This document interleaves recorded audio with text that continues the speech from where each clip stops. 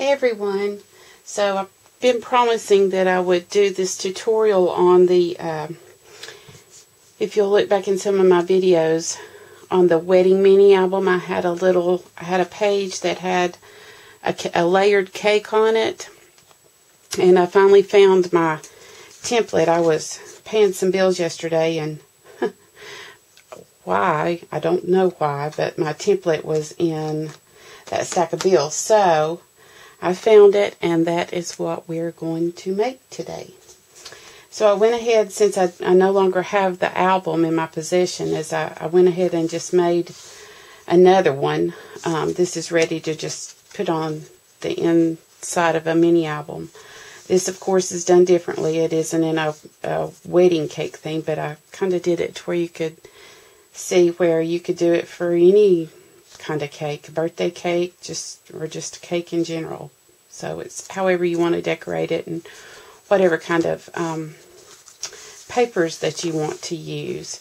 So just a reminder, if you didn't see that video, this is how it works. Um, you pull the top layer out and you can put a picture here and here and then you can open this. It has a magnet closure on it and you can write something here if you'd like or do whatever and then another little place for a picture here and here. And so then this just tucks back down in here like this and closes up. And then as this comes down it it tucks and my card's stiff. The more you work it the more it'll loosen up. But it tucks right in behind your second tier here so this is what we're going to make today. Now I'm not going to decorate it and all that. I'm going to give you the basics and then you can just run with it. And I have this quilt here to kind of cover up my desk. I didn't have time to clean off my desk too because it's a mess under there. So what we're going to need, what you're going to need, and I suggest that you use um, the heavier weight cardstock on this just for durability with you pulling it in and out. Um, just heavier weight cardstock. This is the heavyweight cardstock that you can get from Michael's or Hobby Lobby that I'm using for my back piece. Um, this isn't as heavy as this one. Um, you know, just a, I think this is a, maybe a Stampin' Up or a Bazzill cardstock. So it isn't that heavy, but it isn't the paper thin either. So I, I think that it will work for this. So you will need two sheets that are uh, five and a half by five and a half. One for your, the back cover and one for the front, which will be this part here where the red is. Um, and then let's just go from there. That way we won't get we won't get confused. So after you have your two bases cut, what you're going to need to do is on the back side of your um, on the back side of your top sheet, top piece of cardstock. You're going to flip it over because we're going to make some lines. And I'm going to do this with you, and hopefully I can get this in under 15 minutes. So you're going to measure from the top down.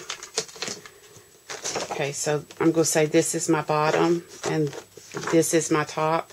So from the top down, you're going to measure a fourth of an inch and just make some little tick marks. A fourth of an inch on both ends.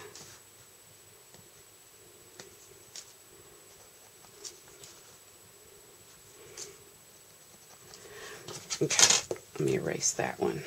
That way it won't confuse you. Just like that. So a fourth of an inch down. Then we're going to measure a fourth of an inch in. So it'll be like that. And you already have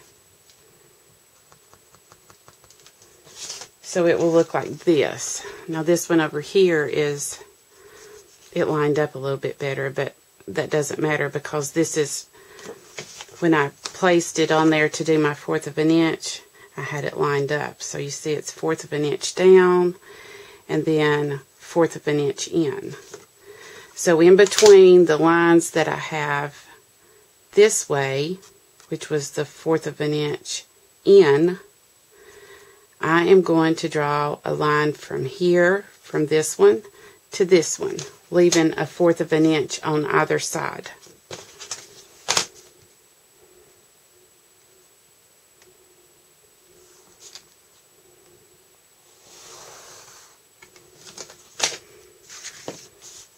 No, I think I got off just a little bit there. Whoops. This is live, people.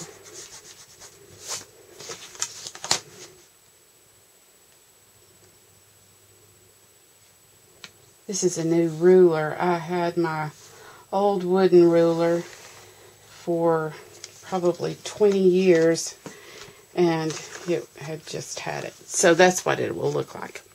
Just inside to inside there. Then we're going to drop down an inch and a half from this line down.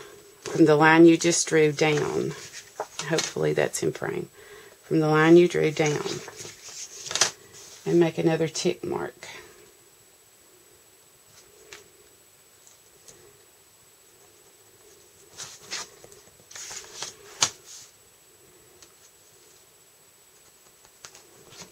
And then same thing, a fourth of an inch in. And make a tick mark. And then a fourth of an inch on this side as well.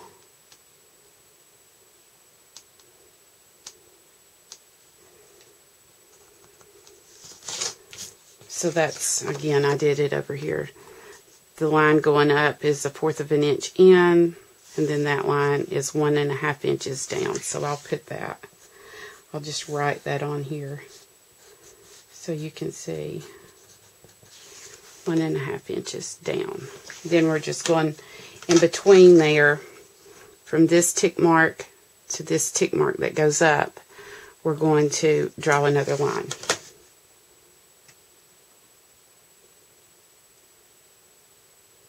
Hopefully I can get it straight this time. Yep. So there you go. That's all that you do. So now what I do is I take, I have this little bitty hole punch. I don't know if you can see just how tiny it is. It's this small. So I'm going to take that and Oh, I need to clean this thing out. Sorry. And on the very end over here, boy, those things are going everywhere. On the very end, um, I'm going to make a hole here and here as well as on the ends of these. And try to center it as best you can.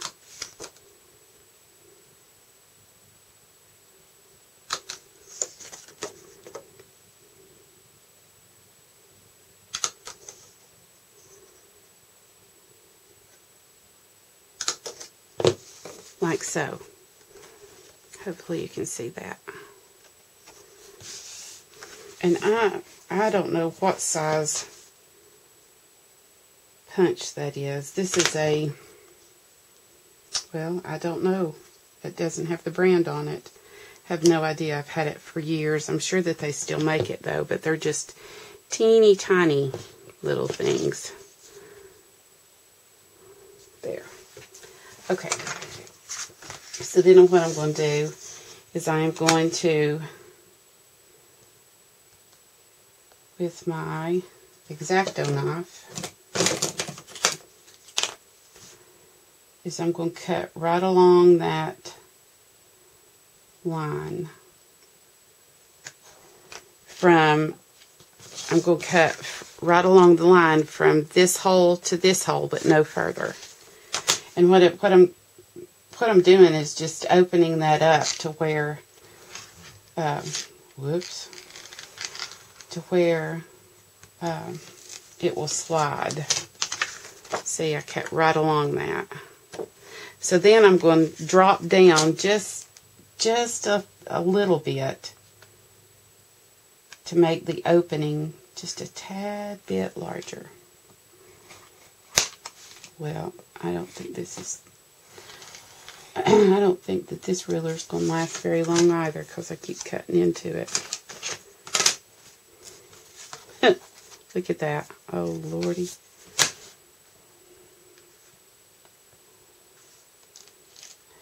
Let's see. There.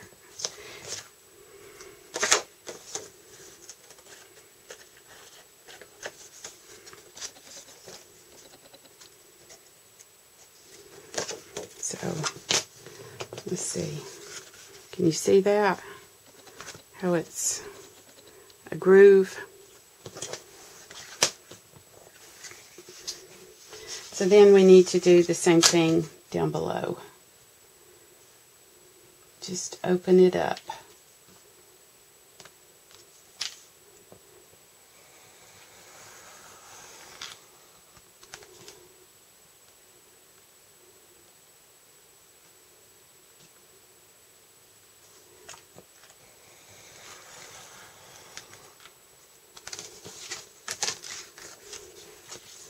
And that is all that I cut out. Just a little sliver like that. So now that we have that done, we're ready to go ahead and put it on our card. And I think, you can see right here, I think that this one right here may need to be opened up just a tad bit wider because I like this width better than this one. So I'm going to go ahead and, and do that. Open it up just a little bit more.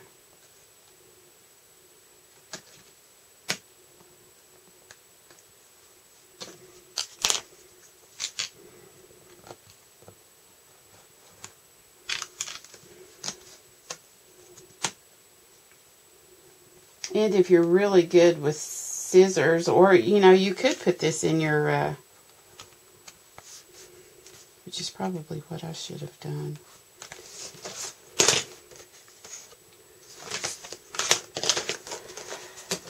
Oh. No, I can't do that with those big scissors.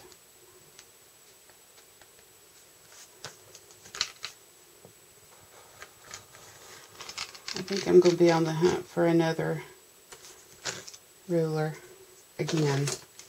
I have the Tim Holtz one, but for some reason I can't get used to it. I like seeing all of the sixteenths of an inch, and it doesn't show it on that. So, anyway, that one's a little bit wider than the than the other one, but I'm okay with that. If you can see, I think it's a little bit wider. No, I guess they're okay. So like that. Now, on the back side of it, I'm going to use some quarter inch um, double-sided tape and go all the way around.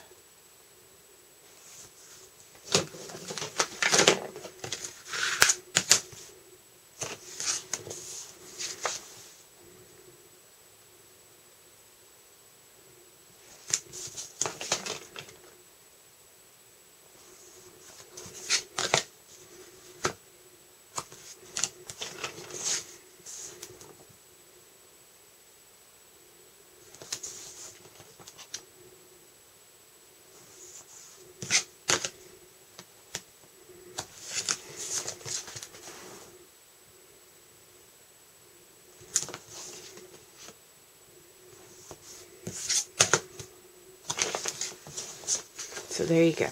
I went all the way around with it.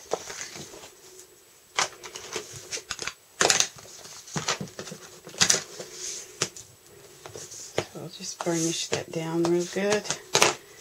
Peel it off.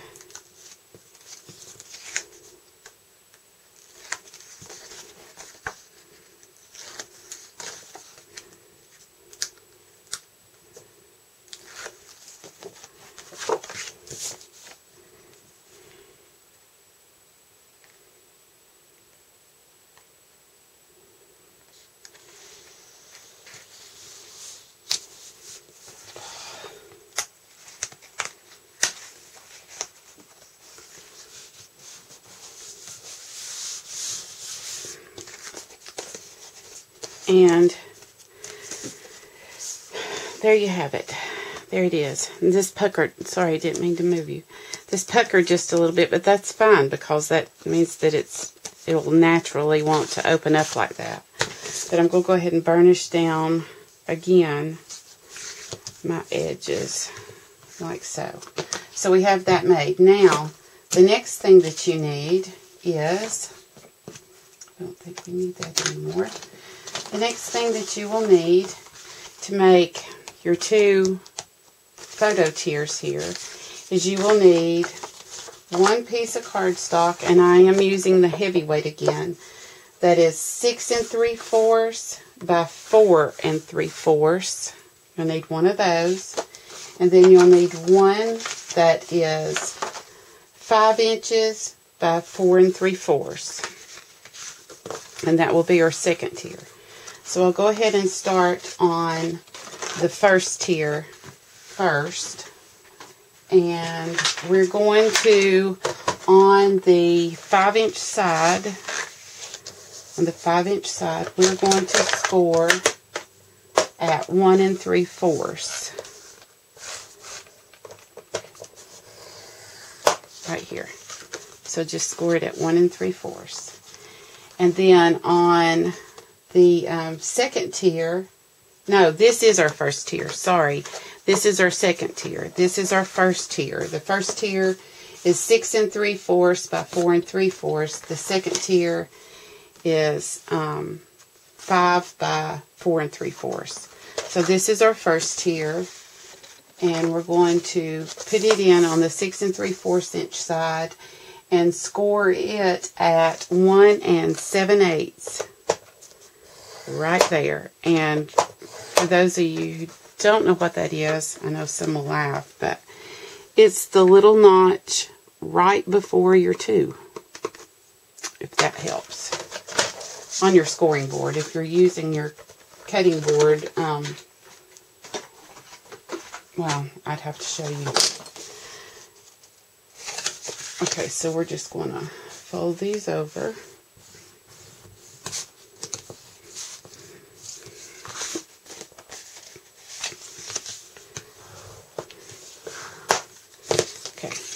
There's first tier and second tier. Now we have to cut them out. Now on this, on this one right here, I didn't use any um, cardstock in behind because I had a full sheet of paper. I'm using scraps for mine. So um, I'll give you the measurements that will cover this exactly here. But since I was using scraps, I had to double layer mine a little bit. And so for our first tier here, we need a piece of cardstock that is 1 and 7 eighths by 1 and 7 eighths by 2 and 3 fourths. And I'm doubling mine because I only, I mean, like I said, I'm just using scraps on this one to show you all. But to cover the entire piece, like on, like on this one, um, it's one and seven eighths by two and one and seven eighths by two and three fourths. If you want to do it like I'm doing it here, you just cut down just a little bit, like a fourth of an inch on either side, and you're good to go. So let me go ahead and um, let me go ahead and get this on. And I'm just going to use my tape for this.